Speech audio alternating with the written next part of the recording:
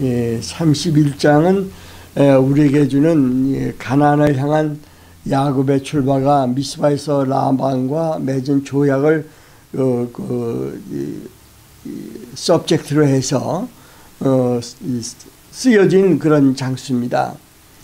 예, 여기서 보면 우리가 몇 가지를 그, 볼수 있는데 첫째는 그 야곱이 왜 그 속임과 속임 당한 것들을 우리가 좀 볼 필요가 있다는 생각이 듭니다. 이 야곱은 이름 그대로 참 구구한 인생, 힘든 인생을 살아갑니다. 심지어는 외삼촌 집에 가서도 힘들고 어려운 생활을 지나고 또 그 딸들을 아내로 취하면서 일어났던 복잡한 관계들 또 그걸로 인해서 어 오는 또 또 다른 그이 이 변하는 약속들의 그럼 속에서 참으로 내가 살아가야 되는 그 모습, 내가 살고자 하는 그 어려움, 고통 중에서도 우리 하나님을 잊지 않고 하나님의 음성을 들으며 하나님이 주시는 것들을 가지고 그대로 예, 순종하는 그런 삶의 그 모습입니다. 속임을 당하고 속임을 하는 그 인간의 어떠한 모습을 우리는 야곱을 통해서 알 수 있는데 하나님께서 우리에게 이야기시길 나는 아브라함의 하나님이요 이삭의 하나님이요 야곱의 하나님이라고 하십니다. 참 어떻게 보면은 이 삼그 3대가 이루는 그 하나님을 표현하는 그 모습을 보면서 우리는 과연 여기서 어떤 것들이 우리에게 정말 그 가르쳐 주고 계신 건지 어떤 것을 우리가 보고 어, 배워가며 우리의 신앙을 에, 고정시키며 착합하며 살아가야 하는지를 참 힘들게 보는 이런 형태를 우리가 에, 찾을 수 있습니다. 우리가 야곱이 속임을 당한 걸 보면 먼저 형에게서 소금, 속임을 당합니다. 창세기 25장 27장에 잘 기록되어 있습니다. 또 아버지 이삭을 속입니다. 창세기 27장에 그것도 5절에서 29절에 말씀을 하고 있습니다. 삼촌 라반을 속입니다. 창세기 30장 37에서 43절까지 되어 있습니다. 그런데 이 야곱이 속임을 당합니다. 삼촌 라반에 의해 속임을 당합니다. 창세기 29장 31장 오늘 우리가 하는데 기록되어 있고요. 아들들에 의해 속임을 당합니다. 아버지를 속였던 아브라함이 아들들에게 다시 속임을 받습니다. 창세기 30장에 기록되어 있습니다. 근데 하나님께서 야곱에게 나타나신 때를 보면은 형의 에서를 피해 하란으로 도망하던 중에 베델에서 하나님이 나타나십니다. 하란 라반의 집에서 일할 때 또 하나님께서 나타나십니다. 하란에서 가나안 땅으로 돌아올 때 군대를 보내심으로써 또 나타납니다. 하란에서 가나안 땅으로 돌아올 때 압록강에서 강가에서 하나님이 나타나십니다. 세겜 땅에 거할 때 또한 나타나시고 세겜에서 베델에 이를 때에 나타나시고 부엘세바에 이르러 제사 드릴 때에 하나님이 나타나십니다. 이거는 창세기 28장부터 창세기 46장 전반을 걸쳐서 나타나는 현상들입니다.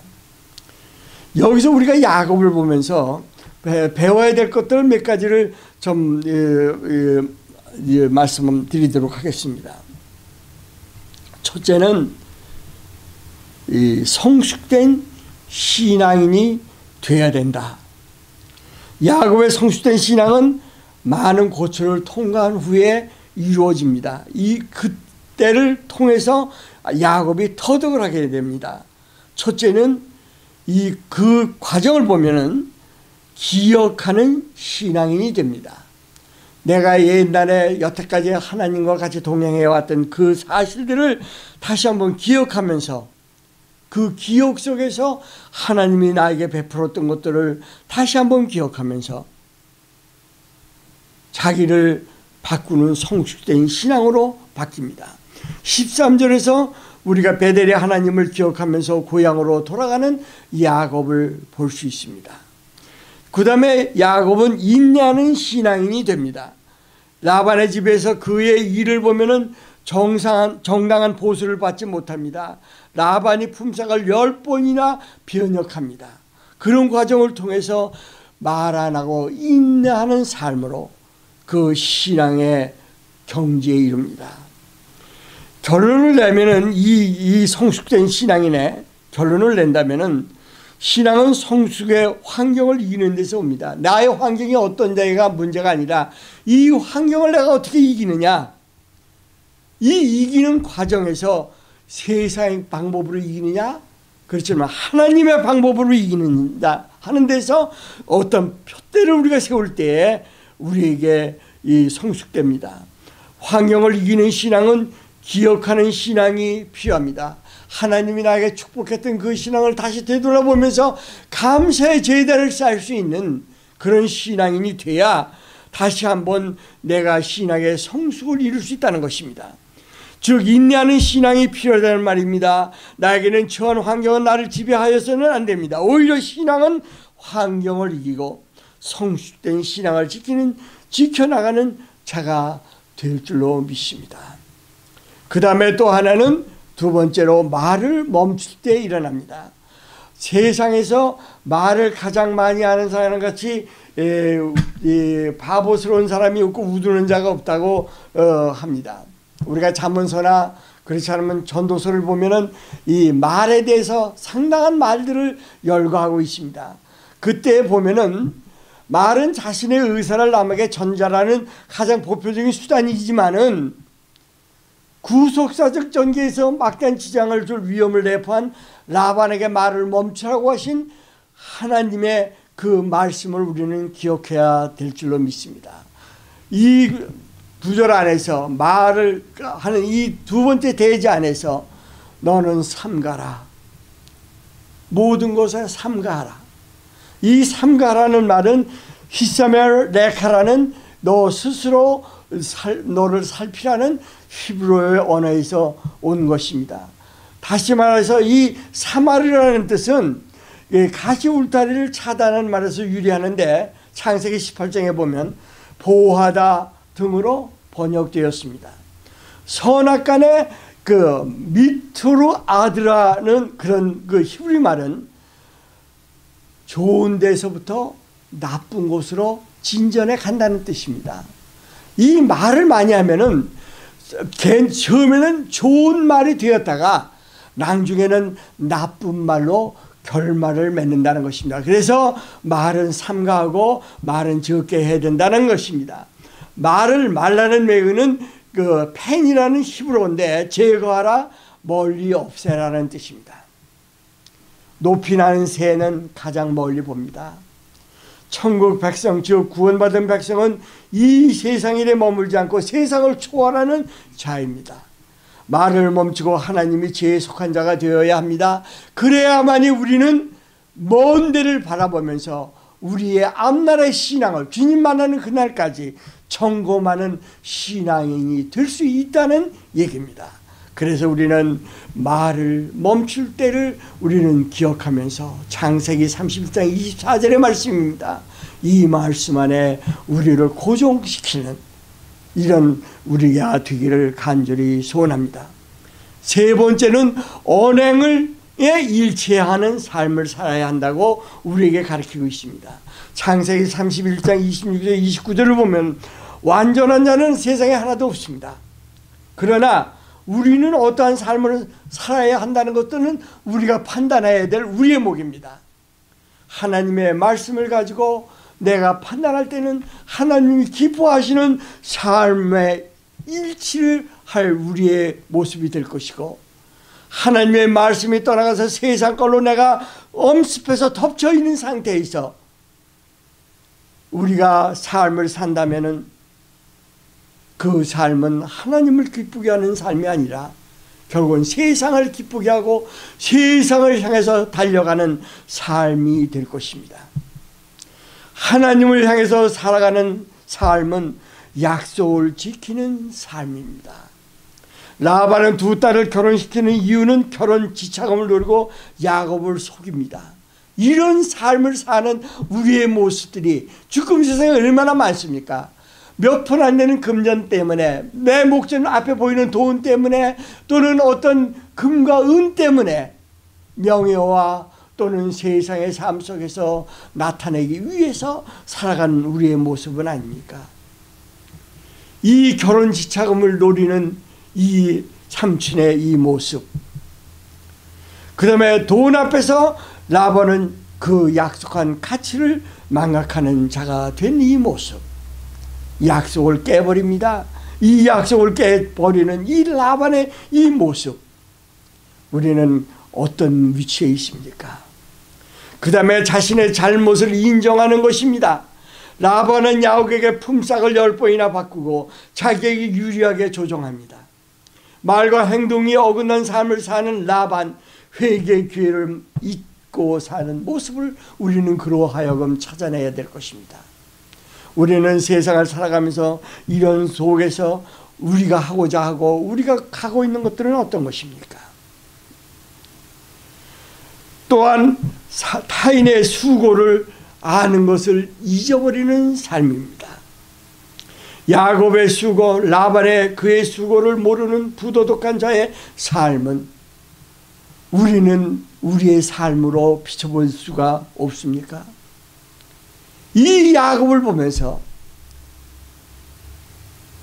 이 참으로 약했던 야곱이 이러한 연단과 가정을 통해서 다시 한번 하나님 앞에 자기의 신앙을 돌보며 신앙의 성숙을 이루며 하고 싶은 말을 다 하지 못하고 혼자 기도하며 자기 를 다시 한번 다듬어 가는 이 야곱의 삶 속에서 언행의 일체의 삶은 모습을 우리는 찾아야 될 것입니다. 내 본 고향으로 되돌아가라고 하시는 하나님 말씀을 듣고 야곱은 식구들을 데리고 그 땅으로 돌아갑니다. 가는 그 모습은 참으로 참으로 힘들고 어려운 모습입니다. 형한테 가니 형이 옛날에 자기가 형을 속였던 그 도망갔던 그 일들 때문에 형이 노할 것이고 뒤에서 쫓아오는 라반을 바라보니 나의 입장과 환경 속에서 라반에게 죽을 것만 같고 압록강을 앞에다 두고 이 서 있는 야곱의 모습 거기서 돌기둥을 세우고 단을 쌓지만은 그 단을 쌓던 야곱에게 들려주는 하나님 말씀을 듣고 담대해지는 야곱 이 야곱의 이 모습이 우리 삶 속에 우리 중에 임재하여서 오늘도 세상을 향하여 담대하게 살아가는 여러분과 저가 되기를 바랍니다. 로컬에 하나님의 말씀이 전해지는 이 복음 방송국의 메시지 또 멀리 선교지에 이 미국을 떠난 각 세계 방방곳에서 이 채널을 들으시는 여러 성도 여러분들 오늘도 여러분에게 닥쳐진 고난과 힘든 것들은 무엇입니까? 여러분들의 신앙생활을 하는 데서 가장 걸림돌이 되는 것들은 어떤 것입니까? 그런 걸림돌이 왔을 때 여러분은 어떻게 해결하고 계십니까? 오늘 이 야곱이 걸어왔던 길과 야곱이 혼자서 걸어왔던 길로 인해서 성숙되어져 있는 이 모습들 양태의 진단에 걸려 있었어도 하나님 앞에 재단을 쌓던 야곱 이 야곱의 모습을 보면서 좌절하지 마시기를 바랍니다. 두려워하지를 마시기를 바랍니다. 내 선교지가 어디에 있든 간에 그 선교지를 향해서 오늘도 무릎을 꿇으며 하나님의 음성을 듣는 여러분과 제가 되기를 간절히 소원합니다. 이 복음 방송의 메시지가 한 영혼을 하나님 앞에 돌아오게 했다면 한 영혼이 이 메시지를 듣고 하나님의 앞에 회개하며 오늘도 하나님을 찾는 일이 더해 간다면 우리는 하나님 목전에 귀하게 쓰여지는 종이요 일꾼인 줄로 믿습니다. 이 일에 우리 마음과 마음, 몸을 합쳐서 연합하는 공동체가 되어서 이 일들을 하나님이 기뻐하시는 곳에 우리가 다시 한번 제물로 드릴 수 있는 이 시간이 되기를 간절히 소원하면서 오늘 잠깐 하나님의 말씀을 맺습니다. 첫 번째, 성숙한 신앙인이 되어야 합니다. 두 번째, 말 많이 하는 자가 아니라 말을 한 체험을 지는 신앙인이 되어야 합니다. 세 번째, 언행의 일체의 삶을 살아가는 성도가 되어야 우리는 하나님의 영광을 가리지 않는 귀한 하나님의 종들이요 백성인 줄로 믿습니다. 이 말씀에 뿌리가 내리게 하시고 이 뿌리 내린 나무에 열매가 맺을 때에 많은 힘들고 어려운 사람들이 그 우리의 세워진 그 신앙의 나무 위에 쉼의 털을 닦고 이루고 쉬어갈 줄로 믿습니다. 잠깐 기도하겠습니다. 살아계신 하나님 감사합니다. 오늘도 말씀 속에서 주의 놀라우신 기적이 우리에게 임재하기를 간절히 소원합니다. 이 말씀 속에서 하나님의 능력으로 아버지의 이 세상을 이기는 모든 아버지의 성도들이 될 수 있도록 주님 축복하여 주시옵소서. 이 시간에도 하나님을 향하여 두 손을 들고 이대로 이 모습 이대로 십자가 밑에 나와 기도하는 아버지의 심령들이 있을 줄로 믿습니다. 그 심령들 위에 하나님의 귀한 음성이 들려지게 하시고 그 음성 안에서 주님과 통행하며 기쁨을 누리는 삶의 종들 되게 하옵소서. 우리 주 예수 이름으로 간구하며 기도하옵나이다. 아멘.